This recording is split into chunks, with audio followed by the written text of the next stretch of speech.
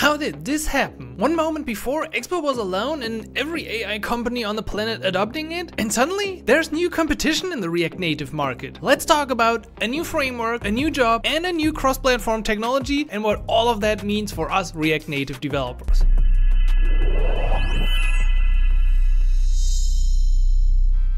First of all, Michal from CallStack announced a new React Native framework for enterprise app. We all knew that introducing the concept of React Native frameworks meant that there could be other frameworks in the future next to Expo. And now we probably have the first serious contender because this might be super interesting, especially for enterprise clients. CallStack knows about the needs of enterprise customers and they are also usually behind the React Native CLI. Shimon also put this tweet out where he mentioned that today we're introducing a new React Native framework, successor to the React Native community CLI. So that clearly indicates where this project is going. And I think it's actually a smart move because I've talked to many companies before or developers from company and they usually said that yeah we can't use Expo right now we're still on React Native CLI and we don't want to migrate and there might be reasons for bigger enterprise companies to not migrate to Expo. Smaller teams, one, two, five people should be fairly easy to migrate to Expo and it's usually recommended at this point. However, if you have very specific enterprise needs and I'm absolutely not an expert in enterprise needs then this might be exactly what you need. It has a modular design, it looks really nice, it looks like there will be a path to migrate from the community CLI to configure your own actions. The features they already have are interesting and the more features to come are even better. I think mobile micro front ends are a super hot topic. Uh, I've seen this recently on Jack Harrington's channel. Out of tree platforms, not always easy to do with React Native over the air updates. Okay, something you just need to have just like continuous native generation. RSCs, something we will all use in the future, and then also Circle CI GitLab S3 support included. So I think the new React Native framework is not something uh, the usual Expo developer should fear or needs to use, but for enterprise, this could be a really great thing. The second news is a bit more spicy. Fernando Rojo, many of you should know him for great libraries like Zeego or Solito, has joined Vercel as head of mobile to continue building open source projects for web and native apps. And Guillermo also posted excited to join Vercel, keep raising quality bar of mobile and web ecosystem. We have a shared vision, best mobile apps or bust. So what does this mean? I think Rofi put this into great words as he said Vercel is behind in the mobile game, they know it. Expo Router is great, RSCs will be there soon, uh, we have EAS hosting which kinda competes with Vercel and Expo Router for web could be a direct competitor to Next.js. Expo is getting uh, little by little closer to the web and Vercel hasn't talked about mobile in years. That's good and welcoming in any case, let the games begin. And I think the games have already begun because things are already getting spicy between between Guillermo and Evan Bacon. Guillermo posted about an application here that's been built with Next.js and Solito, and everyone's like, um, how was that mobile app built with Next.js? There's nothing in the iOS binary, and of course, every side has some truth. Uh, Evan went deep into the code, and yes, there's absolutely no Next.js in the binary of that application, but our good mediator, Jamon Holmgren to the rescue, he put everything into perspective. Probably the reason why Guillermo said that is because Solito is used, um, Solito uses also Expo, and then the Expo application does use a backend, which is Next.js. So the application is using the Next.js API, which, well, I think probably the wording here was not correct. Maybe it was intentionally not correct. Who knows? But it just shows things are already getting a bit more spicy between Expo and Vercel, and I think we're gonna see more of that in the future. Coming back to the hire of Fernando Rojo, what does this mean for Vercel, for Next.js, for mobile plans? We don't know at this moment, but it's going to be interesting to see because I agree that Next.js has great potential. They could go into mobile somehow. My own post on using Capacitor with Next.js was one of the most popular posts I ever did. So this shows that people are looking for a way to bring their Next.js application into a mobile app. However, if Vercel is just coming up with an adapter that allows you to bring like your Next.js app in an easy way with a web view into a mobile app, that's not better than Capacitor or Ionic in the past. And that model does not work anymore today, given how React Native and Expo and the next news that I will share work right now. Vercel has to get a bit more creative. I'm excited to see what they're cooking under the hood. Maybe they're already tinkering on something, but I hope it's it's better than just an adapter for the web. Finally, there's a new cross-platform technology called Lynx.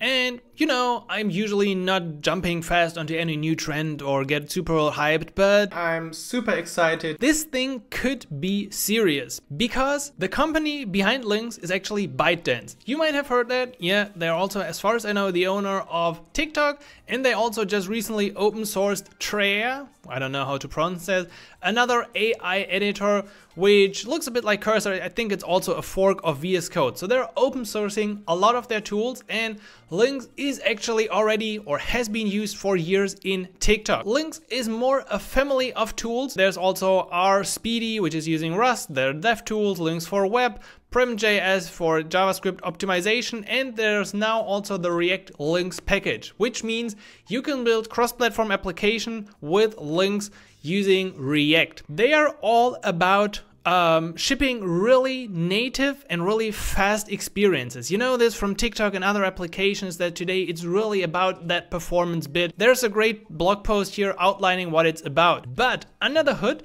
it's still about using what web developers know. So if you look at this, we see a lot of styling, CSS, you can write your own CSS.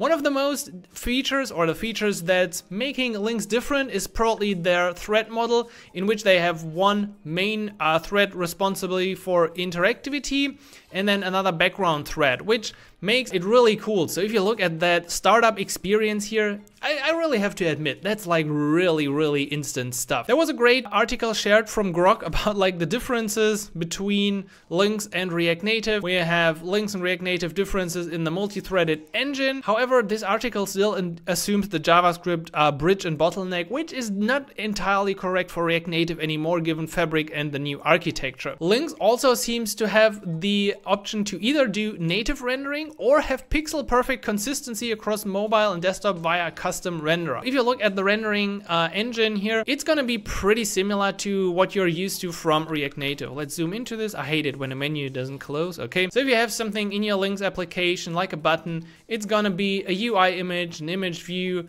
uh, or an image on the browser. Same here, UI text view, iOS, text view, Android pretty much the same concept that you are used to from React Native already. Beyond that, what did Grok say as well? It's also mostly web inspired using CSS and styling. Herobot uh, shared some well, not limitations, but he went into the uh, code and the documentation and he found some flaws already, especially something like React 17 API? Really? Uh, that really sounds like something we don't want to do anymore. You can also look at more. Uh, routing seems to be quite strange. I, of course, had that thing to give a try. So you can do this, you can go to the getting started guide. There's an application called the Lynx Explorer that you have to uh, install. You kind of need to build that binary yourself and launch it. You can run bun run, I don't know, dev or something, which should bring up the Rsbuild. You got a QR code. I wasn't able to manually build that app to deploy it to my native device. So I'm gonna have to copy that over, enter it here, hit go, and then I'm in my Lynx application. If you look at this, it looks very familiar to React Native. Only thing is that we now import stuff like use callback, use effect, use state from the Lynx version of React. I don't know how I feel about this. The rest looks very similar to what we're used to, but of course we would have to get more into that code. So let me know in the comments if you're interested in just seeing a bit more of how Lynx work and how we can build an app. I'm absolutely down to try this out. Speaking about similarities, Kashpa also pointed out that some parts really look a lot like reanimated. So if we look at this with the main thread thing here, and then we look at to reanimated where it's just worklet, it's quite similar. But the good thing is the developer who also wrote this great blog post um, for the introduction of Lynx is very humble about this. So Xuan Huang actually previously worked for React.js Core and React Native. And he even said, I was lucky enough to have the chance to work directly with some of the most influential figures who have essentially shaped this era of UI technologies. No doubt it's been a part of my identity. Lynx definitely has respect for React and I think this is a good starting point. You don't want to start off like a, with a big fight. I don't know where Lynx is going. I just think that this comment definitely won the award for the best comment. How long till the first job ad goes live requiring five years? It's it's always the same. Finally, I just want to share the last words that Grok gave in the summary about like the differences and the key uh, similarities. Without hands-on testing or detailed technical documentation beyond this blog post, some of these differences remain aspirational or speculative. Lynx's real-world performance and adoption will ultimately determine how distinct it, it is truly from React Native. And I couldn't agree more. The blog post is interesting, the documentation of Lynx is cool, and what you can do with the code is already pretty cool in terms of like trying it out, running it on a device, but it really has to be seen how the ecosystem of Lynx develops and what people are making out of this. Alright, let's recap quickly and put everything in perspective. So number one, Callstack, the new React Native framework, looks really great for enterprise applications that are still on React Native CLI. Vercel might move more into native land and we have to wait to see what they're cooking. And Lynx is an interesting approach and should be taken serious because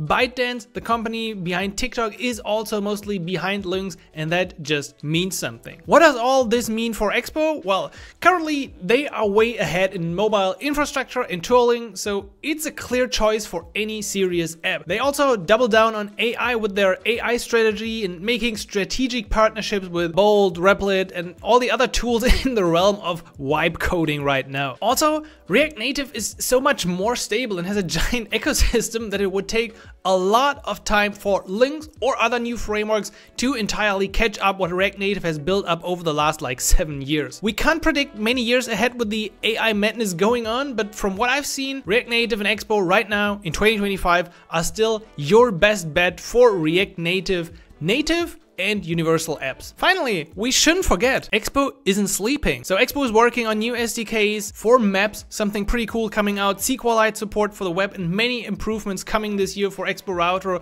making sure they still remain the first choice, which they by the way are for most AI builders at this point. What's your take on all these developments? Let me know in the comments what's going to happen next. I'm super excited. Hit the like and stay subscribed and I'll catch you in the next one. Until then, stay sane and happy coding. Simon.